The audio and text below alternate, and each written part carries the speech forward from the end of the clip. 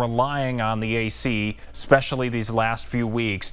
But it turns out all of our AC units are only making it hotter outside. Ashley DiMartino has the details.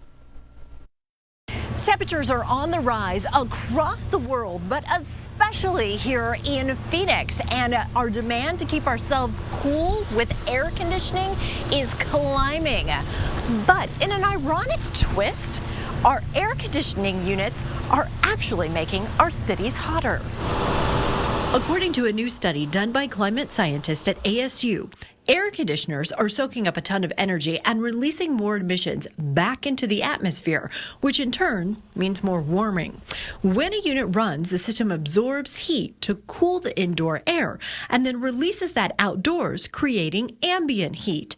One individual unit doesn't release much, but when millions of units per hour are doing so, it makes a significant impact on our environment. Do they make things worse? Yes, they add about one to two degrees Celsius during the the evening and nighttime hours. If it wasn't for ACs, nobody would be living here. That's just the reality of the situation. Scientists believe we need to look at increasing the efficiency of air conditioning units, improving insulation inside our homes and businesses, and better shade our homes to keep the AC from having to run 24 7.